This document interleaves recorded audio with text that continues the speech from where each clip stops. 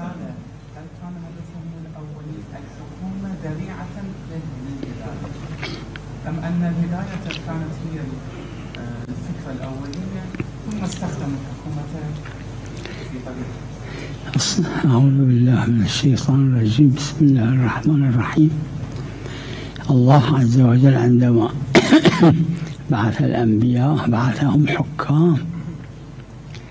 لا شك هذا ولكن يقول هل لك إلى أن تزكى أي. مو ينافي. لأن هذا مثبت ولا ينافي المثبت الآخر. نافي ماكو. إذا واحد مثبت واحد نافي كان نعم. وإلا لا شك أنه نعم. بعض الأنبياء الذين هم أنبياء لعائلة أو لكذا هم ما ندري مو كل الأنبياء. أما الأنبياء الذين هم بعثوا منذرين ومبشرين الظاهر حكام من الأولية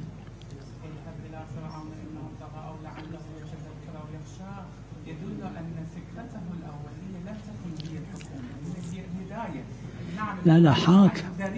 حا لا لا حاكم. هذا وذاك. اثنيناتهم.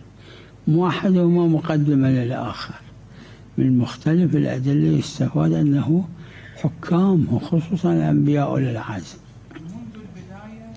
نعم نعم. مثل الأئمة عليهم السلام.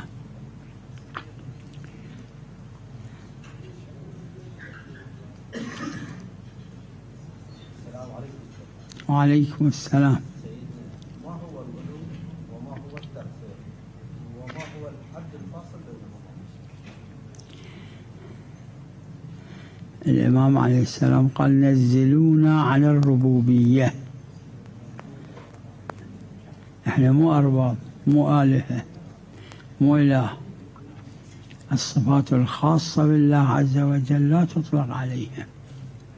هذا الغلو والتقصير أنه لا يعتبرهم أئمة يعتبروهم علماء مو إمام من قبل الله عز وجل. هذا التقصير.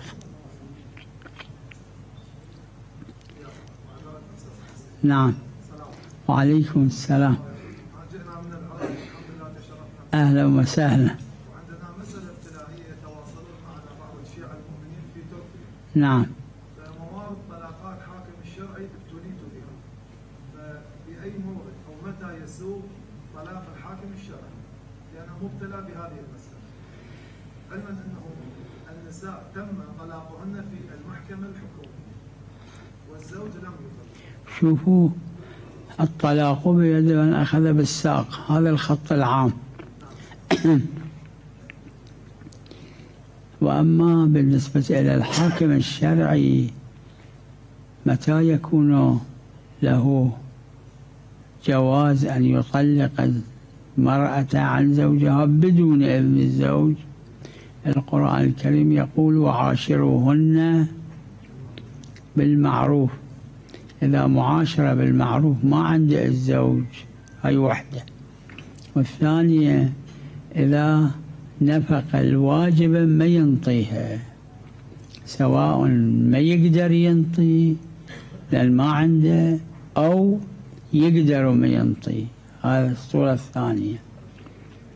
الصورة الثالثة ما إذا بقاؤها على الزوجية كانت حرجا شديدا عليها. مثلا زوجة شابة زوجها مسجون عشرين سنة وهاي ما تقدر تصبر. فيكون بقاؤها على والزوج ما إلى طريق إلى حتى هو يطلق أو يقول له ما أطلق أنا خلي عشرين سنة تقعد هالشكل هذه الصور الثلاث الظاهر. في الصورة الثالثة طبعا مسألة محل خلاف بين الفقهاء. ولكن في العروة الوثقى موجودة أيضا. في هذه الصور الثلاث يجوز للحاكم الشرعي أن يطلق هذه الزوجة إذا هي طلبت الطلاق. الزوجة قد يكون الزوجة ما تريد لا. إذا الزوجة طلبت الطلاق في هذه الصور الثلاث للحاكم الشرعي يطلق الزوجة أو يأذن من يطلقها ويكون طلاق شرعي هذا. وعليكم السلام.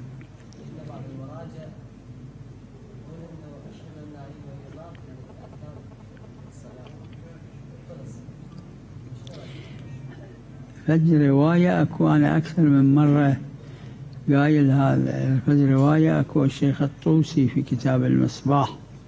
رضوان الله على الشيخ الطوسي ينقلها اللي بعد في الصلاة. مو في الأذان والإقامة الأذان والإقامة ماكو مشكلة. في الصلاة بعد الشهادتين بدون أن مرة ثالثة يقول وأشهد يقول وأن عليا نعم الولي. ينقل رواية. هذا ما يخالف في التشهد. التشهد في الركعة الثانية أو الركعة الأخيرة.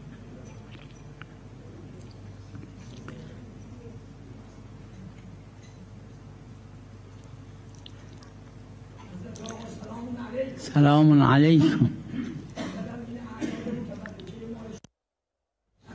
خیلی ممنون بفرم بفرم السؤال حول زيارة الجامعة الكبيرة. حيث جيء بالضمائر جمعا. هل يدل هذا على أن جميع أهل البيت عليهم السلام في جميع الصفات متحدون؟ إذا فلماذا نرى بعض الصفات مخصوصة أو تذكر؟ مثلا باقر العلوم للإمام باقر باب الحوائج للإمام الكاظم عليه السلام. معروف الجواب المعروف هو هذا الشيء.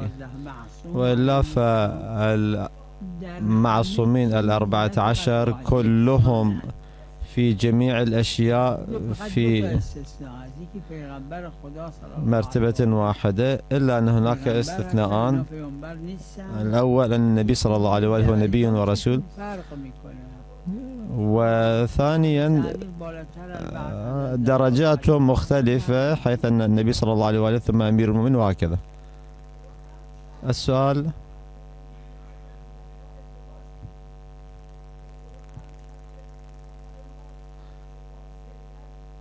أن أن الله سبحانه وتعالى أمر آه، النبي صلى الله عليه وسلم ببعض الزواج أو نهى عن شيء. فلماذا العلة في ذلك؟ لماذا أمر النبي صلى الله عليه أمر الله سبحانه وتعالى النبي بهذا الزواج؟ الجواب إذا ورد إلينا العلة في ذلك فنقول به وإلا فمن أين العلم لنا من ذلك؟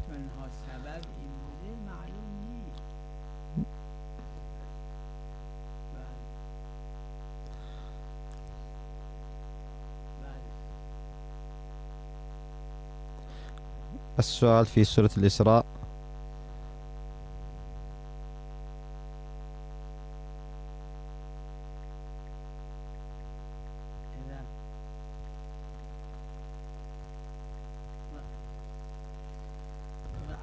ولولا أن ثبتناك لقد كدت تركن إليهم شيئا قليلا. إذا لأذقناك ضعف الحياة وضعف الممات ثم لا تجد لك علينا نصيرا. السؤال هو كيف يمكن أن يكون في ذهن النبي صلى الله عليه وآله كمثل هذا الفكر أو هذا النحو من التفكير حتى يخاطبه الله سبحانه وتعالى بهذا الشيء؟ وثانيا لماذا ورد ضعف الحياة وضعف الممات؟ إذ أن جزاء سيئة سيئة مثلها فلماذا ضعف ذلك؟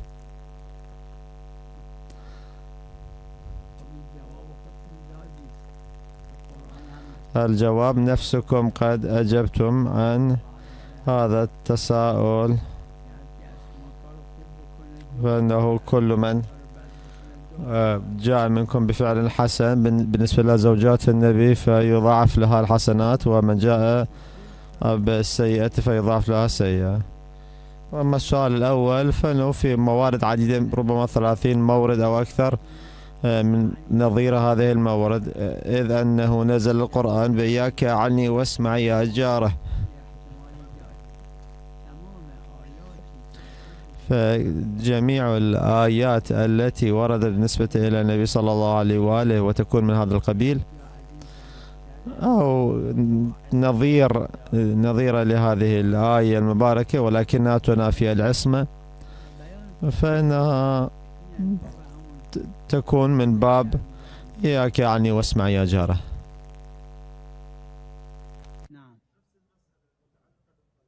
نعم الزوجة مؤمنة متدينة والزوج من المذاهب السنية الأخرى مم. فإن حصل الطلاق في المحكمة الحكومية ففي نظر المذاهب الباقية يصح طلاق الحكومي وهنا يكفي أم يحتاج طلاقها من الحاكم الشرعي احتياطا لأنها مؤمنة لا يكفي. حسب ما قلت وفت قاعدة أنه آه، يصح يعني إذا هم يطلقون يطلقون هم بدون شهود مثلا.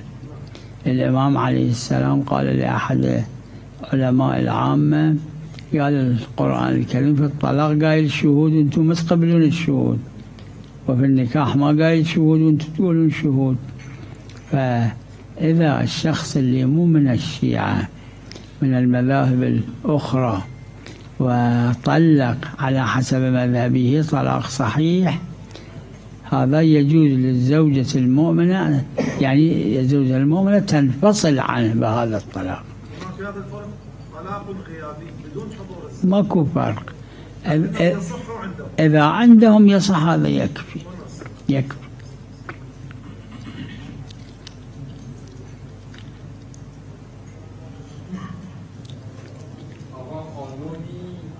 بله السؤال حول امرأة لأنه وصل إليها إرث صارت مستطيعة للحج. ولكن الزوج يمنعها من الحج.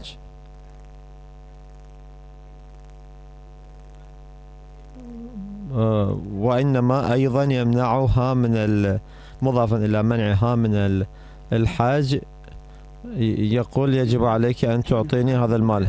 الجواب عليها أن تذهب إلى الحج. وعليه على الرجل يحرم أن يمانعها.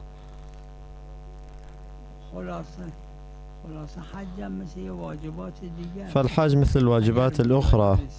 إذا وصل إلى درجة صار الحج حرجيا أو ضرريا حيث كان هذا الحرج والضرر في الطريق أو للزوج أو لأمور أخرى.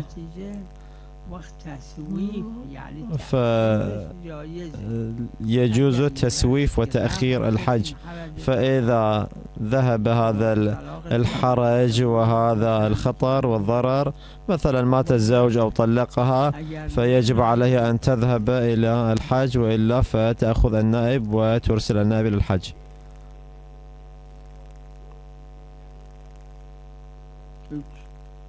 ساقط اگه قدرت نداره که نایبم بفرسته. السؤال إذا لم يكن لها الق- القدرة حتى تأخذ النائب الجواب يسقط عنها الحج. إلا أنه إذا حينما وصل إليها المال ولم تذهب ثم حصل هذا المانع فيبقى هذا الحج في. عنقها وفي ذمتها فإذا ماتت وكان ما تركت أكثر من الحج أو مثلا يكفي للحج فيجب أن يؤخذ لها الحج. السؤال؟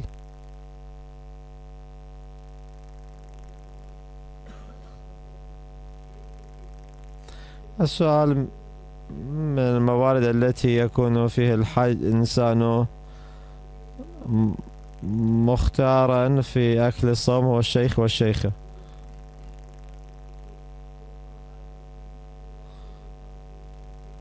نه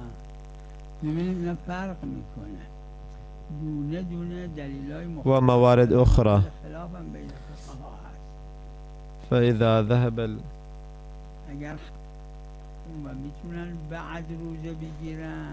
المانع هل آه، يرجع الحكم الجواب إذا ذهب المانع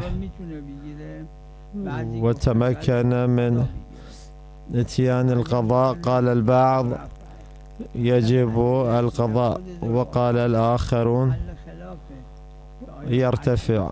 أما بالنسبة إلى ذي العطاش فمحل خلاف فكل من هذه الموارد مسائل أدلته مختلفة كالحامل المقرب والمرضعة قليلة اللبن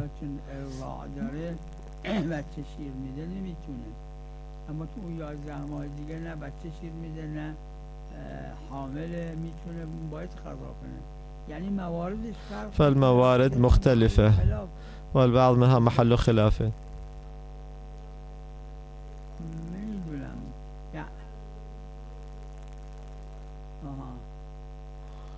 بله.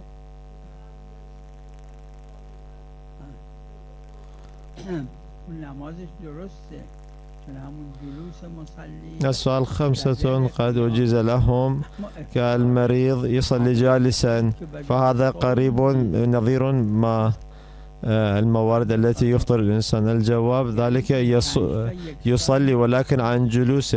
ولكن الصائم هنا يفطر ولا يفطر يعني أي لا يصوم. فالموارد التي ذكرتموها مختلفة أحكامه.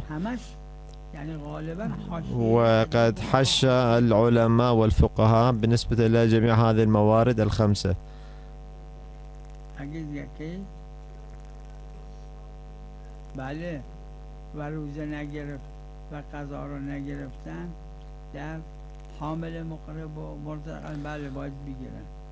اما به ذل آتاش محل خلافه.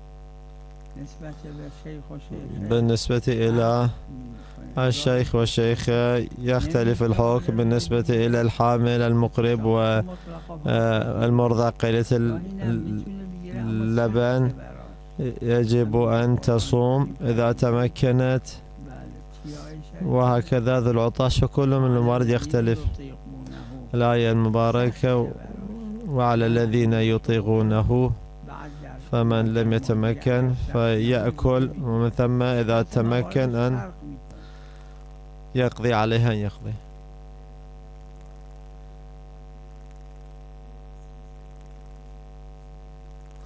السؤال لماذا قيل الشيخ والشيخ إذا كان المراد هو عدم القدرة؟ همین به مصداق اشکال نداره اینم یکیش فقط چون دلیل نه نه نه نه نه اگر روزه براش الجواب على أنه هو أحد المصادق؟ در لغت عرب از چل سال به بالا شیخ میگن. حضرت امیر صلوات الله علیه تا اون لحظه آخر تا همون روز 18 هم روزه گرفتن. با که 63 سال عمرشون بود. پیغمبر خدا صلی الله علیه و آله تا آخر عمر روزه گرفتن. و آنکه 63 سالشون بود. از نظر لغت عرب شیخ بودن. حضرت امیر صلوات الله علیه و یک کسی دید تمام محاسنشون یک دونه موی سیاه توش نبود. فإنه في اللغة العربية الشيخ يطلق على من كان أكثر من من وصل إلى أربعين سنة. ولكن ليس هناك خصوصية لهذا العنوان. الفرق الموجود على أنه إذا كان وصل إلى درجة من حيث الكهولة فإنه يجب عليه أن يعطي فديتان فديتان أولا لماذا أكل وثانيا لأنه لم يتمكن أن يقضي. هذا الصوم.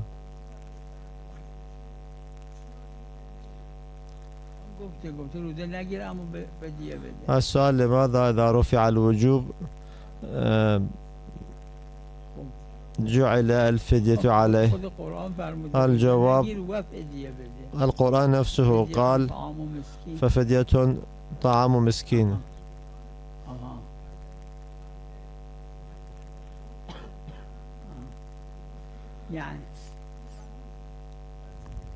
خود قرآن گفته روزه نگیر ونفس و القرآن قال لا تصوم.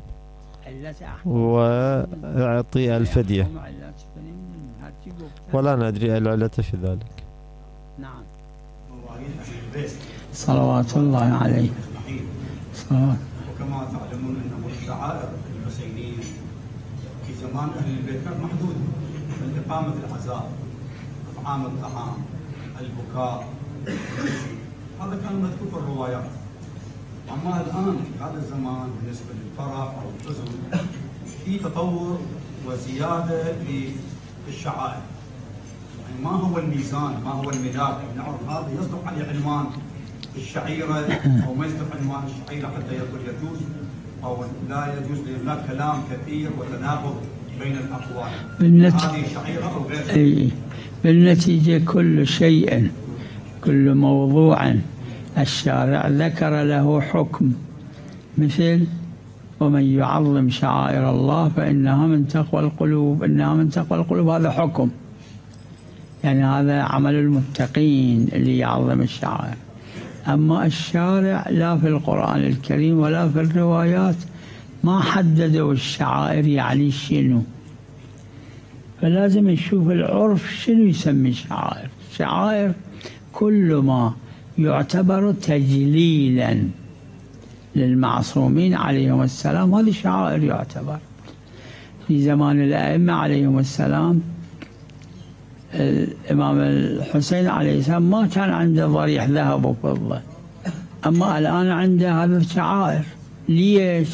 لأن العرف يشوف هذا تجليل وتعظيم للإمام الحسين. ما كانت قبة ومناير. أما الآن لأنه عرفي كل موضوع عرفي. بالنسبة إلى الأفراح وأمثال ذلك كل ما عد تجليلا لأهل البيت من إطعام من زينة من قصائد من أمثال ذلك هذه كل تصير شعائر. نعم يستثنى من ذلك المحرمات الغنى الرقص أمثال ذلك. لازم لا يكون إذا ماكو ويعتبر تجليلا لأهل البيت عليهم السلام هذه تكون كلها من باب يفرحون لفرحنا وفي الحزن هم نفسه بينما الشعائر معنى من احدى مصادر التقوى لا يعني الإنسان المتقي يعظم الشعائر. من تقوى القلوب يعني هذه تقوى من الله عز وجل. تقوى يعني الحذر من مخالفة الله عز وجل. هذا حكم شرعي. أما الشعائر شنو؟ للقرآن ذكر له في الروايات موجودة. وال- بالنتيجة. أحسنتم. العلماء شنو مقصود؟ علماء الدين اللي يسمى عالم دين. العلماء من الدين اللي يسمى عالم. بينما التقوى قد الشارع شنو؟ تقوى تقوى هذا حكم. شوفوا يقول ومن يعظم شعائر الله هذا موضوع. الشخص اللي يعظم شعائر الله هذا من التقوى. تقوى من التقوى. يعني القلب اللي فيه تقوى صاحب هذا القلب يعظم الشعائر. الشعائر يعظم يعني شنو؟ شعائر يعني شنو؟ نفس هذا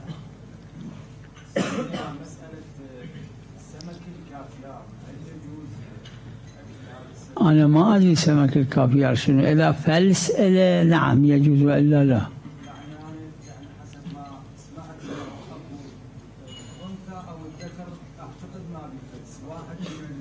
على كل في الروايات هو المشهور بين الفقهاء قديما وحديثا. أن حيوانات البحر كلها محرمة فد استثناء له. ما كان سمك مو حيوان آخر. وكان سمك له فلس.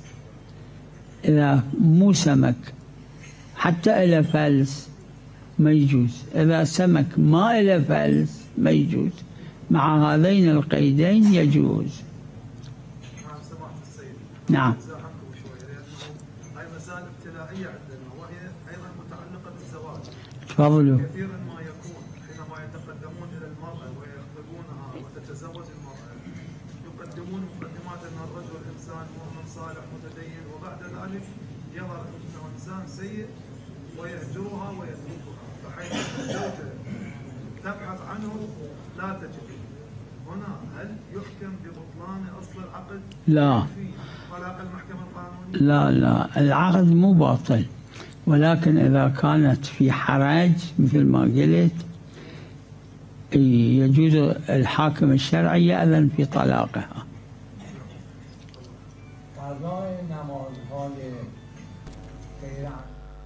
السؤال حول قضاء الصلوات للأب غير العمدية فعلى ال- الولد الأكبر. أما الأم فما حكمه؟ الجواب محل خلاف. المسألة موجودة في العروة. قال البعض بأنه قضاء صلوات الأم أيضا على عاتق الولد الأكبر لكن المشهور لا يقول بذلك. السؤال على أن الأم أهم ولكن لماذا لم يرد هذا الشيء؟ الجواب نحن والدليل فهناك الدليل وهكذا الإجماع بالنسبة إلى الأب. أما بالنسبة إلى الأم فالمشهور لم يقل وإن قاله البعض. السؤال حول أني تارك فيكم الثقلين. فالقرآن مقدم أو أهل البيت عليهم السلام. الجواب في نفس الروايات ورد على أن النبي قال صلى الله عليه وآله صلى الله عليه وآله أحدهما أكبر من الآخر وهو القرآن. وهناك روايات عدة ذكرها أحد ذكر أحدها أمير المؤمنين عن النبي صلى الله عليه وآله.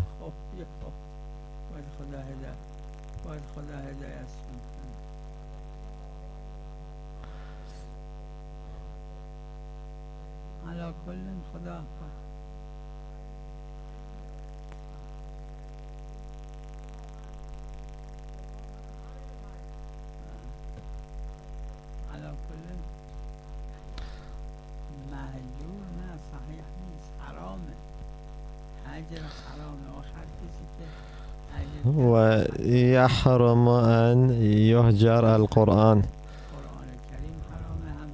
فيحرم هجر القرآن وهكذا هجر العترة الطاهرة نعم نقوم ببعض الشعائر يستهزئون به أي. مع ان إحنا بهذه الشعائر تمكنا أن نجمع مجموعة كبيرة من الشباب من الانحراف أي إحنا بهاي بهذه الشعيرة إذا ما أقمناها لأنه الجماعه يستهزئون بنا سيؤدي إلى أنه الشباب يذهبون إلى أماكن أخرى وأماكن أخرى الفساد بكثرة والعياذ بالله. فميزان الاستهزاء يعني هل هذا يحكم أنه أنا أترك الشعيرة لأنه البعض يستهزئ بي؟ يا حسرة على العباد القرآن الكريم. ما يأتيهم من رسول إلا كانوا به يستهزئون. الاستهزاء مو ملاك لأنه هم الزيانين يستهزئون من اللي مو زيانين الله يستهزئ بهم. هم المزيانين يستهزئون بالزيانين ولذا الإنسان لازم لا يخلي فكرة على الاستهزاء. شوف طريقته صحيحة هذا الشعائر محرمات ما بيها شكو بيها. من تقوى القلوب. لازم يتعلم الإنسان أن يكون صامدا فيما هو صحيح. وإلا اللي يجي بشيء ضعيف عد بالاستهزاء هم يروح. يا حسرة على العباد. استثناءهم الله ما مسوي. ما يأتيهم من رسول ما قال إلا فلان. آه، إلا كانوا به يستهدون صلى الله على محمد وعلى آله.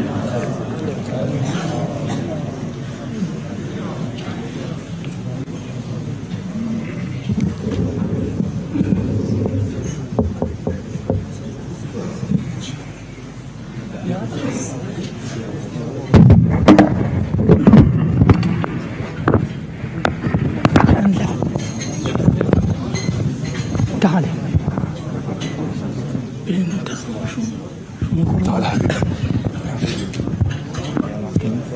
سيدنا السلام عليكم. زوار من بغداد مركز الصديقه فاطمة. شرفنا بسماحتكم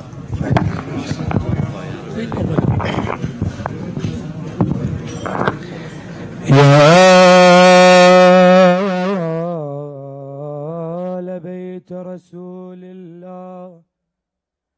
حبكم فرض من الله في القرآن. أنزل يكفيكم من عظيم الفخر إنكم من لم يصل لكم لا صلاة له.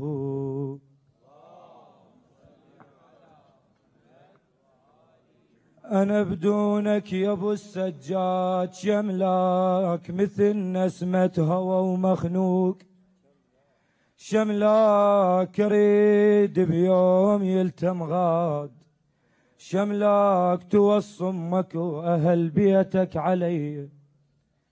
إحنا جينا من العراق زوار. نتشكر من مولاي الرضا من مولاته معصومة. من سماحة السيد من اللي تلقونه وإن شاء الله نر- نرثيهم بهذا البيت.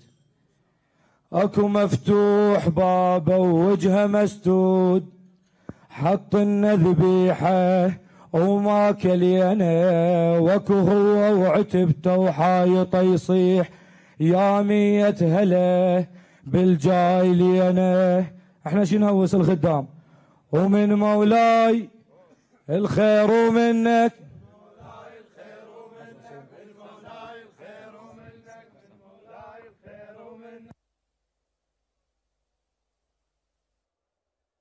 قد ختم النذر.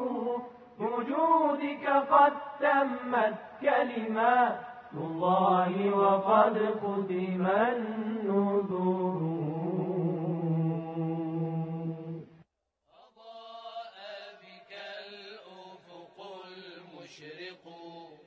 ودان لمنطقك المنطق. أضاء المشرق ودان لمنطقك المنطق وكنت ولا آدم كائنا لأنك من كونه أسبق. أضاء بك الأفق مشرق كانوا يقول